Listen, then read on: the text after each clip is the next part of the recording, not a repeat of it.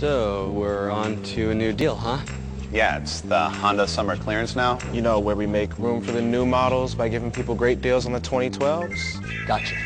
During the summer clearance, people can get a fuel-efficient Accord LX for zero down and just 250 a month, so they don't have to settle for a Honda wannabe. Problem solved. That's not helping. I get that a lot.